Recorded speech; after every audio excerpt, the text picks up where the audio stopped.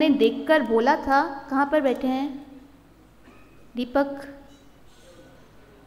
हाँ उनसे पूछ लीजिएगा कि वो जो देखकर बोल रहे थे, उसका, उसकी समझ उन्हें स्वयं भी थी या नहीं थी।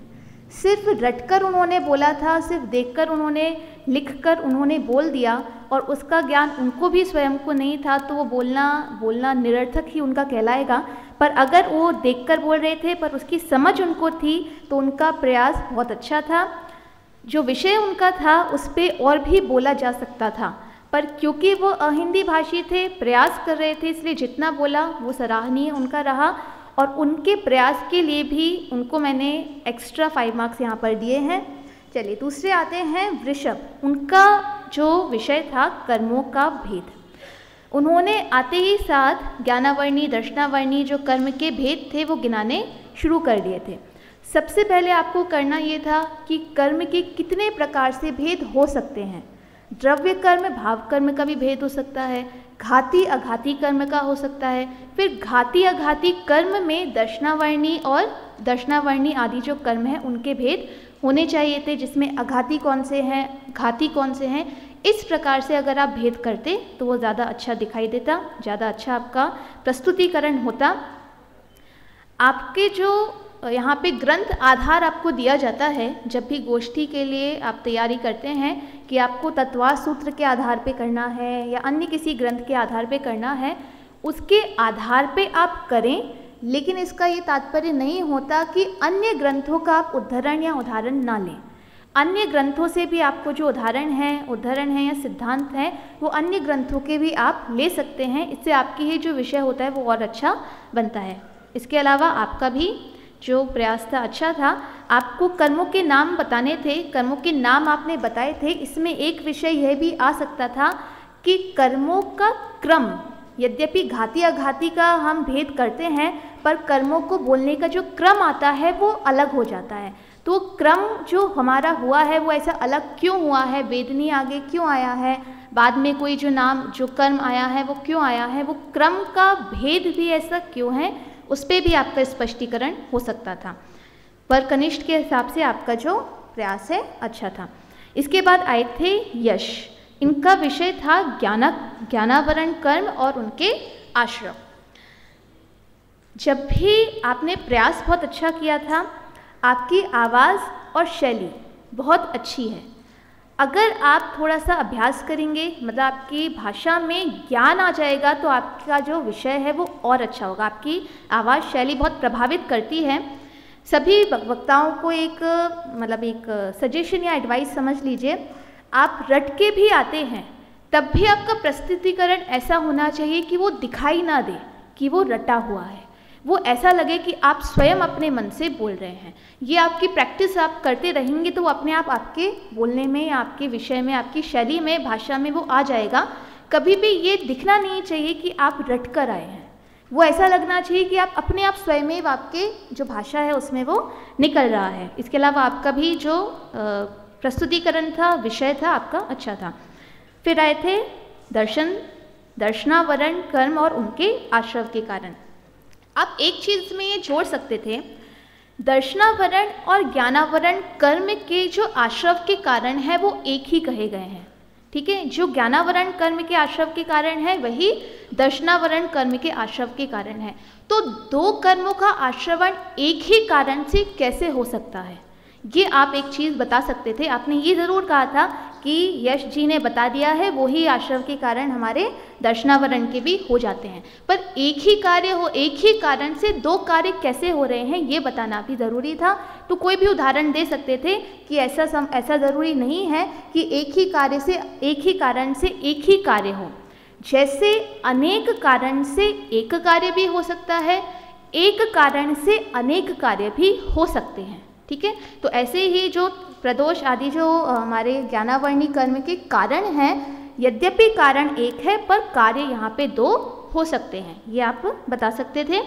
थोड़ी सी आप में बाकी अभी तक के जो वक्तागण थे, उनके हिसाब से आत्मविश्वास की थोड़ी कमी आप में दिखी थी तो आप उस पर प्रयास आपको करना चाहिए। इसके बाद आए थे मधुर, उनका था मोहनी कर्म का और उनके आश्रव के कारण। आपका प्रस्तुतिकरण भी अच्छा था थोड़ी सी गलती हुई थी। जो हमारे ग्रंथों में जैसा लिखा होता है, वैसा ही बोलना चाहिए। चल मल अगाड़ दोष होता है। मल चल अगाड़ दोष नहीं होता। कहाँ बैठे हैं? हाँ ठीक है?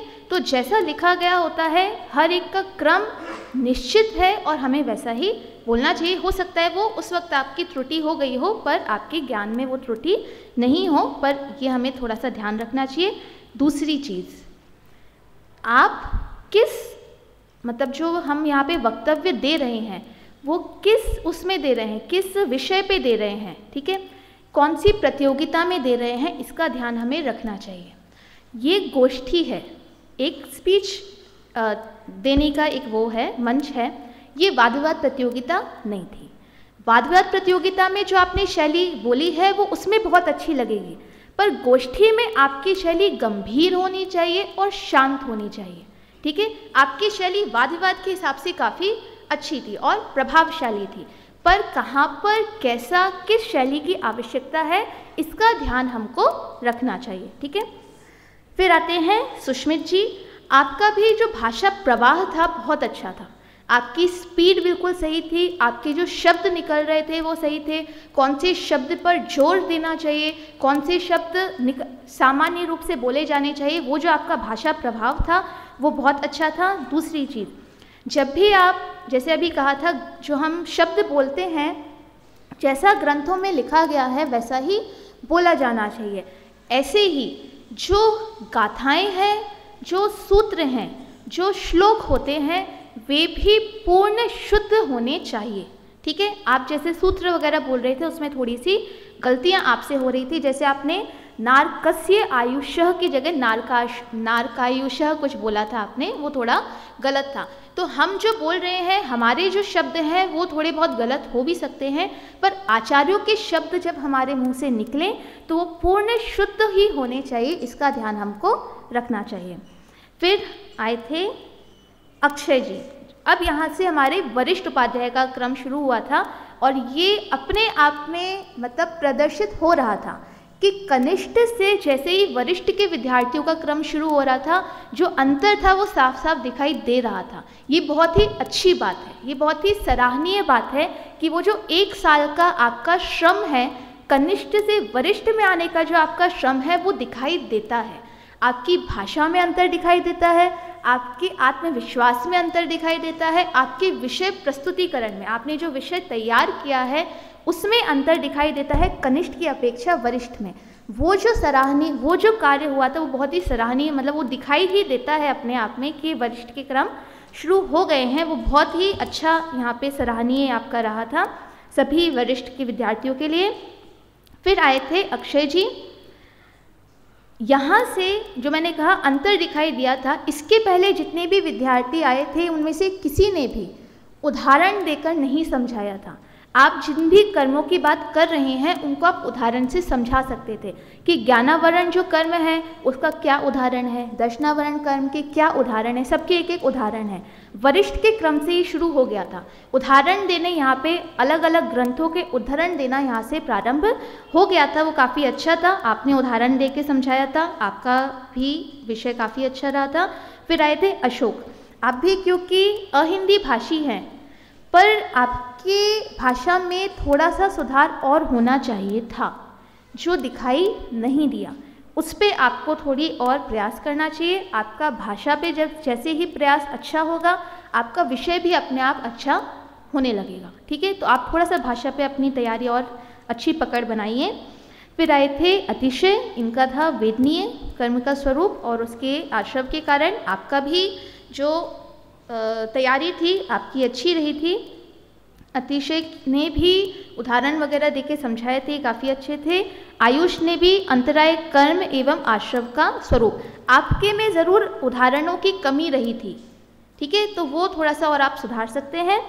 फिर आए थे प्रतीक। इनका भी काफ़ी प्रभावशाली, इनका वक्तव्य रहा था। इन्होंने अलग अलग उदाहरण दिए थे। उदाहरण दिए थे। इनका जो विषय था, जीव स्वयं के अज्ञान से दुखी है। इन्होंने सिर्फ़ ग्रंथों की बात नहीं की थी। इन्होंने उस ग्रंथों की बातों को कि जीव अपने अज्ञान से दुखी है, मात्र ग्रंथों के उदाहरण दे दिए हों उदाहरण दे दिए हों, ग्रंथ से नोट करके यहाँ पे बोल दिया हो, ऐसा नहीं था। इन्होंने तर्क दिए थे और लौकिक जीवन पर उसको घटाकर भी बताया था। कि कैसे जीव स्वयं के अज्ञान से दुखी है? सिर्फ़ कर्म और जीव और आत्मा इन जो हमारे शाब्दिक अर्थ हैं, शब्दावली हैं, उन तक ही सीमित ये नहीं रहे थे। लौकिक जीवन पर उसको घटाकर दिखाया था, ये बहुत अच्छा इनका प्रयास था। इसके बाद अंकुर जी ने बोला था, अंतराय कर्म नहीं, इनका था निष्कर्म अवस्था। इन्होंने भी बहुत अच्छे से बोला था, वही इनके साथ था। इन्होंने भी बहुत सारे अलग अलग उदाहरण दिए थे उदाहरण दिए थे। सिर्फ़ आचार्यों के ही नहीं दिए थे, हमारे अभी के जो जो ग्रंथ लिखे गए हैं, उनके भी उन्होंने उदाहरण दिए थे। इनका भी जो विषय था, ये काफ़ी प्रभावशाली रहा था, काफ़ी अच्छा इन्होंने भी विषय बोला था। अब थोड़ा सा हम यहाँ पर विषय की बात करते हैं। जिस विषय पे हमारी जो गोष्ठी चल रही थी, बहुत संक्षेप में हम बोलेंगे। जो गोष्ठी का विषय था, वह था कर्म और कर्म के आश्रव के कारण। जो कर्म व्यवस्था है या जो कर्म चक्र है, सिर्फ़ भारतीय दर्शन में ही नहीं, पाश्चात्य दर्शन में भी कर्म की सत्ता को स्वीकार किया गया है। सिर्फ़ दो ऐसे दर्शन हैं जिसमें कर्म की सत्ता स्वीकार नहीं की गई है, या फिर हम ये कहें कि कर्म की त्रिकालता स्वीकार नहीं की गई है। भारतीय दर्शन में हम देखें तो एक चारवाक दर्शन होता है। ठीक है? चारवाक दर्शन है, वो कर्म की सत्ता स्वीकार नहीं करता, या फिर हम ये कह सकते हैं कि कर्म को सिर्फ़ वर्तमान जीवन तक ही मानता है, कि इसी जीवन में आप कर्म करो, इसी जीवन में सब कुछ छोड़ के चले जाओ। उसकी त्रिकालता सिद्ध नहीं करता है। ऐसे ही एक पाश्चात्य दर्शन हुआ है, एपिक्यून्यूरिज्म। ये दर्शन भी जो कर्म होता है, उसकी त्रिकाल सत्ता को स्वीकार नहीं करता है। जब कर्म के अस्तित्व की बात आती है कि कर्म की सत्ता है भी या नहीं है तो उसको हम अनुमान से सिद्ध करते हैं कि कर्म की सत्ता होती है। कैसे होती है कि हम, हमारे यहाँ पे बल्ब चल रहा है, लाइट्स चल रही हैं, पंखा नहीं चल रहा पर चलते हैं, ठीक है? तो ये चलते हैं, किसकी वजह से चलते हैं? बिजली की वजह से चलते हैं। बिजली हमको दिखाई नहीं दे रही है पर ये कार्य होते हुए हमको दिखाई दे रहे हैं। तो इन कार्यों के पीछे अवश्य कोई ना कोई कारण होगा। वो कारण क्या है? बिजली। हमें हमारे संसार में विविध प्रकार की क्रियाएँ होती हुई दिखाई देती है। सुख, दुख होते दिखाई देते हैं, जीवन, मरण होते दिखाई देते हैं। हर व्यक्ति का, हर जीव का जो जीवन है, वो अलग अलग प्रकार से हमें दिखाई देता है। तो उन विविधताओं के पीछे कोई ना कोई कारण अवश्य होगा। वो कारण क्या है? कि वही कारण कर्म है। तो कर्म की सत्ता हर दर्शन में स्वीकार कही, की गई है। यद्यपि वो जो स्वीकृति है या कर्म की जो स्वरूप है। वो थोड़ा बहुत कहीं पे आगे पीछे या थोड़ा बहुत डिफरेंट हमको विभिन्न प्रकार का हमको मिल सकता है, लेकिन कर्म की सत्ता अवश्य होती है। और वह जो कर्म है, किसके साथ पाया जाता है? आत्मा के साथ। जीव के साथ बंधा हुआ पाया जाता है। एक तो उसकी सत्ता स्वीकार की जाती है और दूसरा जीव और कर्म का जो संबंध है, वो अनादि से है, यह भी स्वीकार किया जाता है। कर्म और जीव अनादि से बंधे हुए ही हैं। बाद में जाके जो निष्कर्म अवस्था होती है, वह हो सकती है, पर वो अनादि से बंधे हुए ही हैं। इसको सिद्ध करने के लिए कहा जाता है कि अगर मान लीजिए कर्म पहले होता, आत्मा बाद में होती तो भी वो स्वीकृत नहीं होता, वह सिद्ध नहीं होता। आत्मा पहले, आत्मा की सत्ता पहले सिद्ध करते, कर्म की सत्ता बाद में सिद्ध करते तो वह भी सिद्ध नहीं हो पाता। क्यों सिद्ध नहीं हो पाता? अगर आत्मा पहले होता, कर्म बाद में उससे बनता। इसका मतलब आत्मा जब पहले कर्म रहित था, वो शुद्ध था। अगर कर्म बाद में आकर उससे बंधा है या बाद में आकर उससे चिपका है तो इसका मतलब शुद्ध अवस्था में भी अगर कर्म बंध सकते हैं तो सिद्ध भगवान को भी कर्म का बंधन हो सकता है कि अगर आत्मा की सत्ता पहले थी, कर्म बाद में आकर उससे बंध गए हैं। तो सिद्ध भगवान भी अगर शुद्ध अवस्था में तो उनको भी कभी कर्म का बंधन हो सकता है। लेकिन ये हमें पता है कि जो शुद्ध अवस्था होती है, वो अनंत काल तक रहने वाली होती है। उसमें कभी भी कर्म का बंधन नहीं होता है। अगर हम यह माने कि कर्म पहले थे और आत्मा बाद में आई, कर्म की सत्ता पहले थी, आत्मा की सत्ता बाद में हुई तो वो जो पहले जो कर्म था, वो कर्म किया किसने? कर्म किसे कहते हैं? कि किसी ने कुछ किया है कार्य, उसको कर्म कहते हैं। तो उस कर्म को करने वाला कौन था जब आत्मा ही मौजूद नहीं था? इसका मतलब आत्मा और कर्म अनादि से मिले हुए ही हैं। अनादि से इनका संबंध सिद्ध है। जैसे सोना होता है, कल हम प्रवचन में भी सुन रहे थे। सोना होता है, उसमें जो किट्ट कालेमा होती है या जो धूल आदि होती है, वो उसमें पहले से ही मौजूद होती कोई उसमें डालता नहीं है। पहले से ही जब उसका निर्माण होता है, गोमट सार में इसके लिए कहा है, पयडी सील सहावो।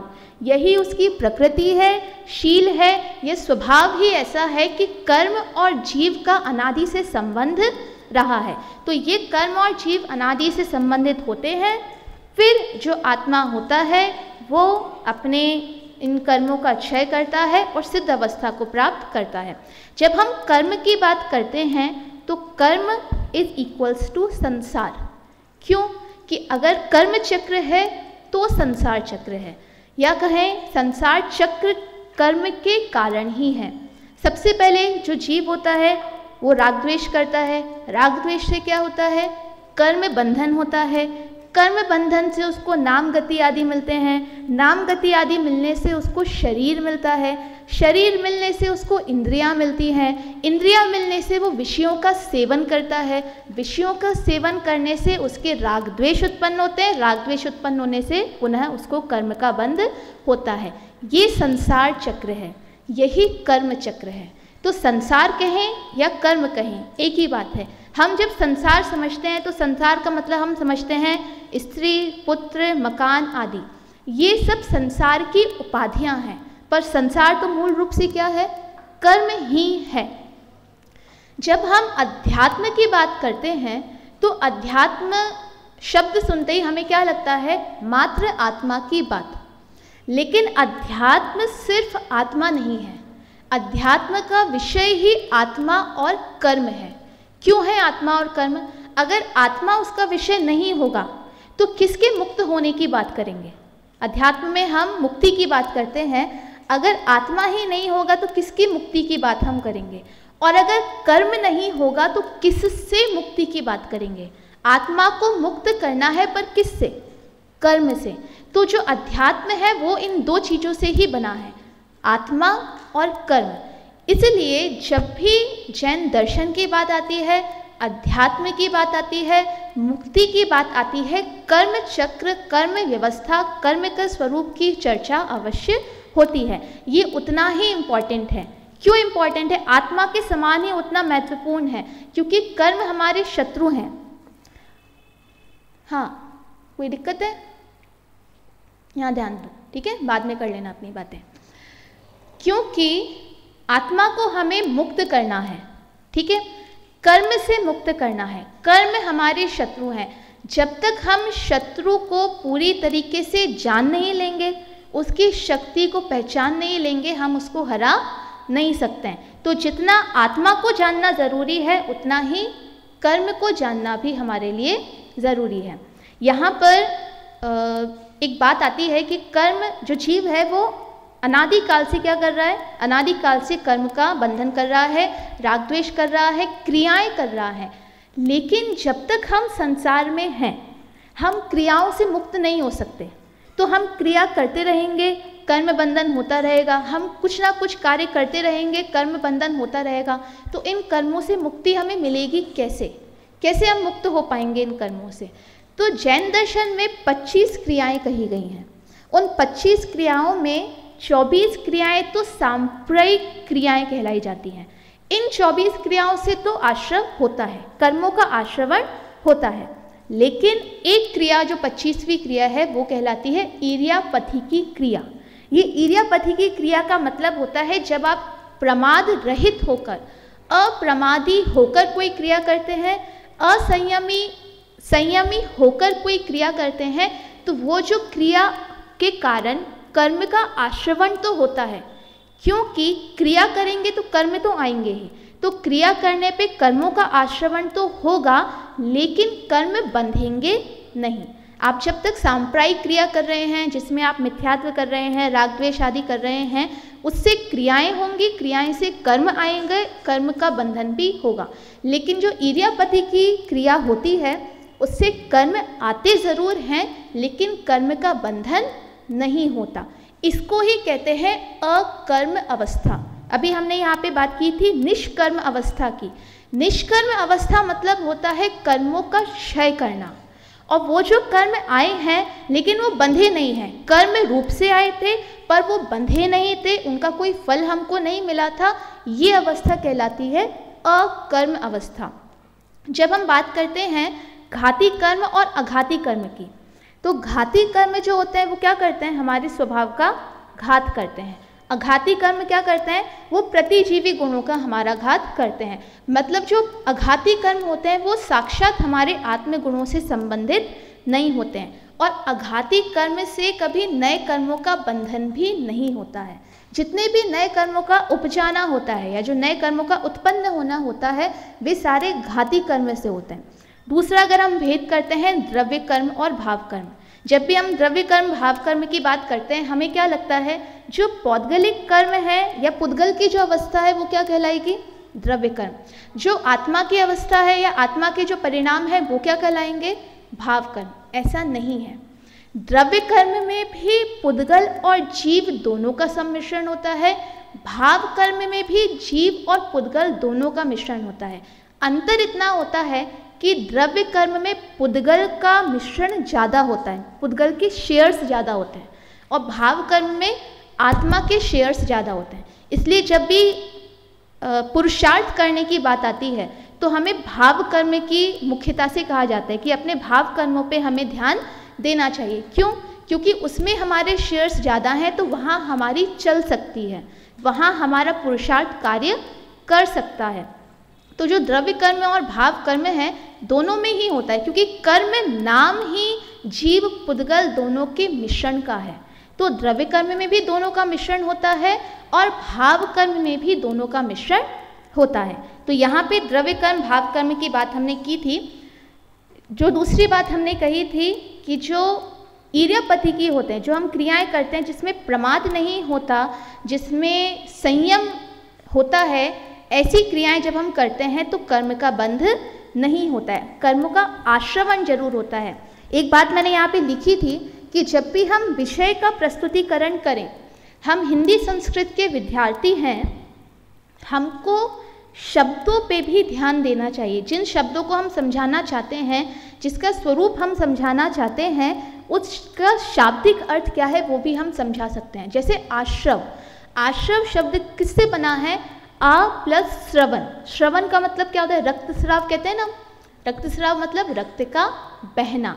ऐसे ही कर्मों का निकलना, कर्मों का आना। तो एक एक शब्द, बहुत सारे शब्द हो सकते हैं जिनके शब्द से भी हम अर्थ उसका निकाल सकते हैं। तो व्याकरण के जो शब्द हमारे सामने हैं या हम व्याकरण के विद्यार्थी तो उन शब्दों से भी हम अर्थ निकालें तो वो भी काफ़ी अच्छा हमारा हो सकता है। एक यहाँ पे एक और चीज़ आई थी कि निष्कर्म जीव अपने अज्ञान से दुखी है। तो उसको भी बहुत अच्छे से इन्होंने किया था। जैसे कि मोक्षमा प्रकाशक में भी कहा गया है, जो मोहन धूल होती है। सुना है मोहन धूल का नाम? कि एक धूल होती है, वो किसी के सिर पे पड़ जाए तो वो जो आदमी होता है वो थोड़ा पागल हो जाता है। तो वहाँ पे उदाहरण दिया गया है कि मोहन धूल किसी आदमी के सिर पे पड़ गई और वो आदमी पागल हो गया। तो मोहन धूल ने कुछ नहीं किया। अगर मोहन धूल जानकर करती, वो तो पुद्गल है, अगर वो जान के करती तो उसमें तो क्या हो जाता? चेतन पना आ जाता। लेकिन वो जो परिणमन था, वो तो किसका था? वो जीव का, स्वयं का था। एक बात आती है ग्रंथों में, क्रिया सो कर्म उपयोग सो धर्म परिणाम सो बंध क्रिया करेंगे तो कर्म होगा, उपयोग में अपने जाएँगे तो धर्म होगा। क्रिया से तो कर्म होता है, लेकिन बंध किससे होता है? परिणाम से। तो हमें अगर किसी पे ध्यान देना है तो किस पे ध्यान देना है? अपने परिणामों पर ध्यान देना है। हम यहाँ पर तत्वा सूत्र के छठवें अध्याय से आश्रवों की आश्रव की चर्चा हम यहाँ पे कर रहे थे। तत्वार सूत्र के छठवें अध्याय को परिणामों का दर्पण कहा जाता है कि अगर हमें देखना है कि हम जो परिणाम कर रहे हैं, वो आगे जाके हमें क्या देने वाले हैं, हमारे परिणाम कैसे दिखेंगे, उन परिणामों का दर्पण है वो आश्रम का जो अधिकार है। जो छठवा अधिकार हम देख रहे थे यहाँ पे, वो हमारे परिणामों का दर्पण है, जिसमें बहुत अच्छे से ये बताया गया है कि कौन से कर्म करने से आपको कौन कौन सी क्रियाएँ करने से आपको कौन से कर्म का आश्रम होगा। ये चीज़ हमें सिर्फ़ पढ़कर नहीं रखनी। ये चीज़ हमें अपने जीवन पे लागू भी करनी चाहिए। अगर हमें दिख रहा है हमने अभी यहाँ पढ़ा है कि हम अगर अपने किसी के ज्ञान पे घात लगाते हैं, अपना ज्ञान अगर हम किसी के सामने प्रदर्शित नहीं करते हैं, जो अच्छा ज्ञानवान है उसकी हम निंदा करते हैं, हमारे अंदर जो दोष है उसको हम छुपाते हैं, सामने वाले के गुणों को हम प्रकट नहीं करते हैं, इनसे कौन कौन से कर्मों का आश्रवण होता है? हम क्योंकि लौकिक जीवन में करते आ रहे हैं। यहाँ पे वेदनीय कर्म जो है, उसमें बताया गया है, दुख, शोक, तापा, क्रंदन वध परिवेदन आत्म परोभय स्थानानी असद वेदस्य कि जो दुख है, शोक करते हैं, रोते हैं, पीड़ित होते हैं, इससे असाता वेदनीय के कर्म का आश्रवण होता है। इसका मतलब कर्म के उदय से हमें कर्म का उदय आया और हमारे सामने कोई प्रतिकूल अवस्था आई। और उस प्रतिकूल अवस्था में हम और दुखी हुए तो हमने क्या किया? हमने नए कर्म ही बांधे। तो ये एक हमारे सामने एक चीज़ है कि हमारे सामने जब भी कोई प्रतिकूल अवस्था आए, हमारे सामने कोई भी बुरी घटना आए, बुरी अवस्था हमारे जीवन में आए, हम और दुख करेंगे उसमें, हम और शोक करेंगे उसमें, हम अगर और पीड़ित होंगे उसमें तो उससे कुछ होने वाला नहीं है, बल्कि हम और असाता वेदनीय कर्म का ही जो बंधन है वो कर रहे हैं, इसका मतलब ये अवस्था पुनः हमारे सामने वापस उपस्थित होगी। हम अगर किसी ज्ञान, किसी को ज्ञान नहीं करने दे रहे हैं तो निश्चित रूप से मानिए आपके ज्ञान पे भी आवरण ज़रूर पड़ेगा। आपको जब उस ज्ञान की आवश्यकता होगी, वो ज्ञान आपके काम में नहीं आएगा। तो एक एक जो यहाँ पे आश्रव के कारण कहे गए हैं, वो किस तरीके से हमारे परिणामों के दर्पण हैं, वो हमको अवश्य यहाँ पे देखना चाहिए। ज़्यादा हम यहाँ पे नहीं बोल रहे हैं, आपका समय हो रहा है। यहाँ पे सिर्फ़ गोष्ठी के विषय में इतना कहना चाहूँगी। एक चीज़ जो हम यहाँ पे बोलना चाहेंगे, जब भी आप अपना विषय प्रस्तुत करें, आप ग्रंथों से बोल रहे हैं, किताब से लिख के बोल रहे हैं, ठीक है, पर उसमें आपका खुद का विचार भी अवश्य सम्मिलित होना चाहिए, ठीक है? जब भी आप कुछ बोले, आपने बोल दिया, पर आपका क्या विचार है इस विषय पे? आपके मंतव्य क्या है? वो अवश्य एक या दो लाइनों में होने ही चाहिए, ठीक है? दूसरी चीज़, जब भी आप अपना विषय तैयार करें, ये आपको हमेशा ध्यान रखना चाहिए, आपके श्रोता कौन है? जैसे हम यहाँ पे देख सकते हैं, यहाँ पे जितने भी हमारे श्रोता हैं, उन्होंने ये सारे जो विषय हैं, सबको इसका ज्ञान है। सब इसके बारे में जानते हैं, आश्रव के कारण भी जानते हैं, कर्म का स्वरूप भी जानते हैं तो आपके विषय में, आपके वक्तव्य में कम से कम एक या दो चीज़ें ऐसी ज़रूर होनी चाहिए जो श्रोताओं को नहीं लगे। कि श्रोता जब यहाँ से सुन के जाए तो उसको ये अवश्य लगना चाहिए कि हाँ मैंने कुछ नया सुना, नया कुछ ग्रहण करके मैं यहाँ से गया हूँ। अगर आप वही चीज़ें जो उन्होंने सुनी हुई हैं, जो उन्होंने पढ़ चुके हैं या देख चुके हैं, वही की वही चीज़ें अगर आप वापस बोलेंगे तो उनका रिवीजन ज़रूर होगा। वो सामने उनके वापस पुनर्स्मृति में ज़रूर आएगा, पर वो कुछ नया सीख के नहीं जाएँगे। तो आपके वक्तव्य में ज़रूर एक दो चीज़ें ऐसी होनी चाहिए जो लगे कि हाँ आज हमने ये नई चीज़ सीखी है। आपके श्रोता को ये ज़रूर लगना चाहिए। दूसरी चीज़, सिर्फ़ चार मिनट आपको मिलते हैं। जब भी आप अपना वक्तव्य, मूवी बनती है, एडिटिंग होती है उसकी उनको कितने घंटे की रखनी है? तो उसमें से जो भी चीज़ उनको लगता है कि ज़्यादा इंपॉर्टेंट नहीं है, वो क्या करते हैं? उसको एडिट करते जाते हैं, उसको हटाते जाते हैं। आपने अपना वक्तव्य तैयार कर लिया, भाषण तैयार कर लिया, अब उसको देखो कि इसमें से कौन सी चीज़ है जो मैं नहीं भी बोलूँगा तो भी ज़्यादा मेरे विषय पर फ़र्क नहीं पड़ेगा। तो वो चीज़ें अगर आप हटाते जाएँगे तो आपका जो विषय होगा, वो जो मूल विषय है, जो आपके विषय से संबंधित विषय है, वो ही आपके पास बचेगा। तो चार मिनट में वो आपका वक्तव्य बिल्कुल सटीक बैठेगा, बिल्कुल सही तरीके से प्रस्तुत हो जाएगा। और जो दूसरी बात मैंने कह कह चुकी हूँ कि हिंदी और संस्कृत के व्याकरण के विद्यार्थी होने के नाते हमें व्याकरण के शब्दों का भी, व्याकरण के अनुसार भी हमें अर्थ ज़रूर निकालने चाहिए। तो इस तरीके से हम अपना जो वक्तव्य है या जो गोष्ठी में हम अपनी भाषण हम यहाँ पे प्रस्तुत करते हैं, वो आपका बहुत प्रभावशाली होगा और रोचकता लिए हुए होगा और नया आपके सामने प्रस्तुत आप कर सकेंगे श्रोताओं के सामने। दूसरी यहाँ पे गोष्ठी के विषय में भी हम कह सकते हैं, ये गोष्ठी का अगर आप एक प्रारूप देखेंगे तो ये प्रारूप आप देखते हैं कि जो शुरू के विषय होते हैं, वो उस विषय के स्वरूप से संबंधित होते हैं। लेकिन अंतिम जो दो विषय होते हैं, वो आपके विचार, आप क्या समझते हैं? वो नया कोई विषय होता है। तो वो जो आखिरी के जो दो वक्ता होते हैं, उनकी ज़िम्मेदारी बनती है कि आप उस वक्तव्य में अपने मंतव्य ज़रूर प्रस्तुत करें, जो आज की गोष्ठी में हुआ था। अन्य मैं गोष्ठी जो सुनती हूँ, यहाँ पे प्रत्यक्ष रूप से ना सुने, पर अप्रत्यक्ष रूप से हम सुनते हैं अंतिम के जो वक्ता होते हैं, उन पे हम कह सकते हैं कि पूरी गोष्ठी का जो भार होता है, वो हो हो सकता है। क्योंकि उनको अपने मंतव्य उसमें प्रस्तुत करने होते हैं, उदाहरण देने होते हैं, तर्क आदि देने होते हैं तो उन दोनों को सबसे ज़्यादा तैयारी करने की आवश्यकता होती है। जब हम यहाँ पे पढ़ते थे, हमारे समय में गोष्ठियों, गोष्ठियाँ जो होती थी, इसी प्रकार से होती थी, पर उसमें एक नयापन हमारे समय में होता था कि सिर्फ़ इसी प्रकार की गोष्ठियाँ नहीं होती थी, जो गोष्ठियों में पावर पॉइंट प्रेजेंटेशन की ज़रूरत होती थी, जैसे तीन लोग का भूगोल वगैरह है तो वो हम स्क्रीन के माध्यम से हम बताते थे। कुछ गोष्ठियाँ संस्कृत माध्यम से हुई थी, कुछ गोष्ठियाँ अंग्रेज़ी माध्यम से भी हुई थी। तो इस प्रकार से भी गोष्ठियों में अगर हम कुछ नयापन लाते रहेंगे तो हमारी जो गोष्ठियाँ हैं, वो थोड़ी रोचक हो सकेंगी। ऐसा मेरा ये आयोजकों को एक थोड़ा सा मेरी तरफ़ से सुझाव है। अगर वे इस तरीके से भी करें तो हमारी गोष्ठियाँ थोड़ी और रोचक हो सकती थी। हमारे समय में ऐसा एक प्रयास किया गया था जो काफ़ी सफल भी रहा था। तो इस प्रकार से ये जो गोष्ठियाँ हैं, जो कहा जाता है, अविच्छिन्न परंपरा है, जो निश्चित रूप से अविच्छिन्न परंपरा ही रही है। सालों से हम इस गोष्ठी के परंपरा को देखते आए हैं, सुनते आए हैं, भाग लेते आए हैं, बोलते आए हैं। तो ये परंपरा ऐसे ही अविच्छिन्न बनी रहे। ऐसा मेरी शुभकामना है और आप सभी ने मुझे आमंत्रित किया और इतनी देर तक सुना। इसके लिए धन्यवाद।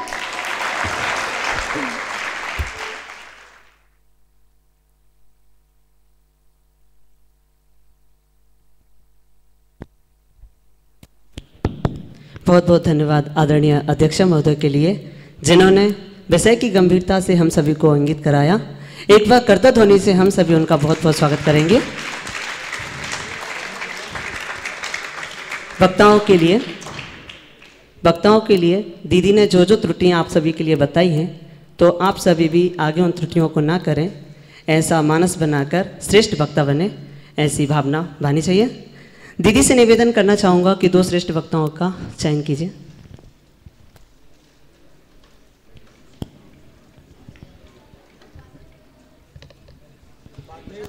उपाध्याय वर्ग सारा। दो। कनिष्ठ और वरिष्ठ के अलग अलग निकालने ना? एक कनिष्ठ का एक वरिष्ठ का। पूरे ओवरऑल निकालना है फ़र्स्ट और सेकंड ठीक है। प्रथम स्थान पर दो वक्ता रहे हैं। पहले हैं प्रतीक जैन प्रतीक जैन हरावत मुंबई। अपने स्थान पर खड़े हो जाएँ। 50 में से 43 मार्क्स इनको मिले हैं और अंकुर इनको भी 50 में से 43 मार्क्स मिले हैं। श्रेष्ठ वक्ता के रूप में प्रथम स्थान पर है। एक और निकाले बस ठीक है। तो दोनों ही वक्ताओं अपने अपने स्थान पर खड़े हो जाएँ। यहाँ पर। और श्रेष्ठ वक्ताओं के लिए हम कर्ता ध्वनि से स्वागत करेंगे।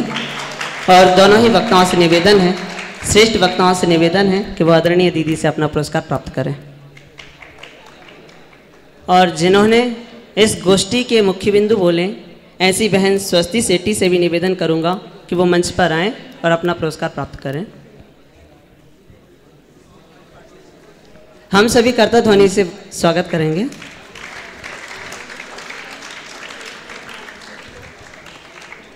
और आज की जिनवाणी और अरहंत चैनल के, जिनवाणी चैनल के मुख्य बिंदु बताएँ, शास्त्री प्रथम वर्ष से सम्मित खोत वो भी आए और अपना पुरस्कार प्राप्त करें। और अरहंत चैनल में जिन्होंने प्रश्न पूछा ऐसे शुभांशु जैन, उपाध्याय वरिष्ठ, और आंसर दिया, वैभव जैन वरिष्ठ, दोनों ही विद्यार्थी हैं और अपना पुरस्कार प्राप्त कर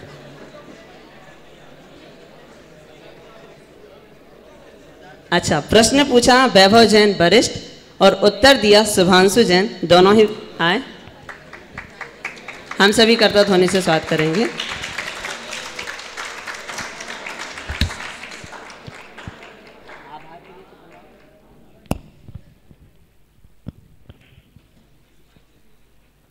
और गोष्ठी के संपन्नता के अंतिम पड़ाव पर लास्ट आभार प्रदर्शन, आधार, आभार प्रदर्शन, जिनके लिए मैं आमंत्रित करना चाहूँगा, आदरणीय जिन कुमार जी भाई साहब, वो आएँ और आदरणीय अध्यक्षा महोदय का आभार प्रदर्शन करें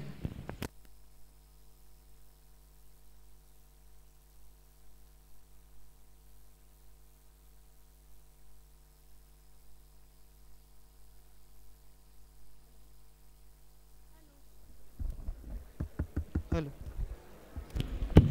हेलो। द्वितीय स्थान के लिए एक वक्ता और यहाँ से घोषणा कर रहे हैं। हाँ यश खुरई इनको 50 में से 40 अंक प्राप्त हुए हैं। कनिष्ठ वर्ग से वे प्रथम रहे हैं। नहीं पेन दे दो। आए विद्यार्थी यश जैन आए पुरस्कार प्राप्त।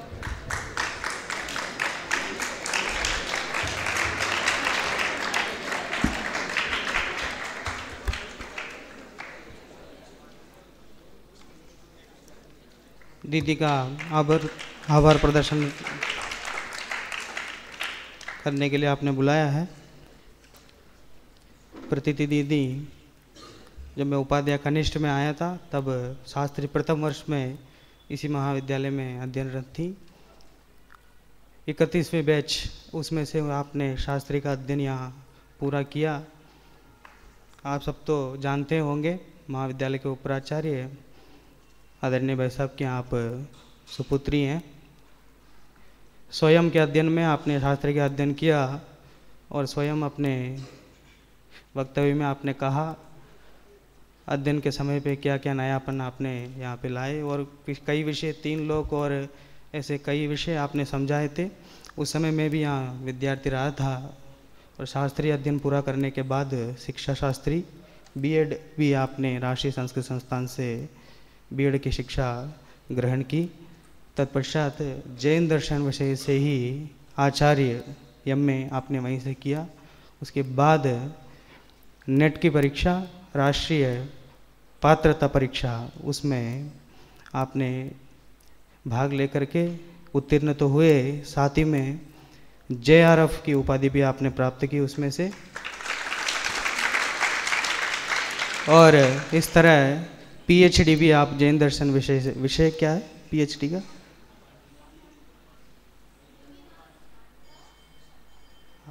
नेमीनाथ पुराण का संवाद इस विषय पर आप पीएचडी कर रही हैं अभी राष्ट्रीय संस्कृत संस्थान से।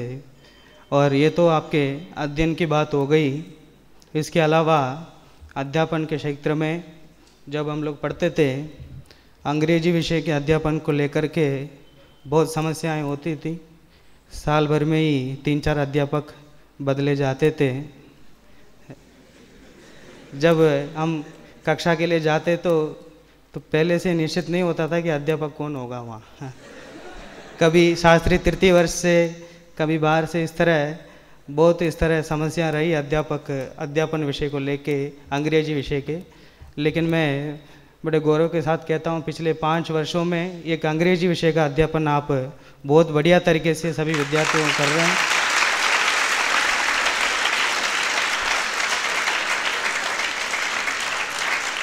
और इसका विशेष परिणाम उपाध्याय वरिष्ठ के विद्यार्थियों में जो हर बार बोर्ड की परीक्षा देते हैं, उनमें विशेष परिणाम दिखता भी है और उनके लिए आप विशेष मेहनत करके उन्हें पढ़ाते हैं। एक अध्याप, अध्ययन और अध्यापन की बात। इसके अलावा आप जैनस्टर्स नाम से एक पत्रिका है, उसका भी आप संपादन करते हैं।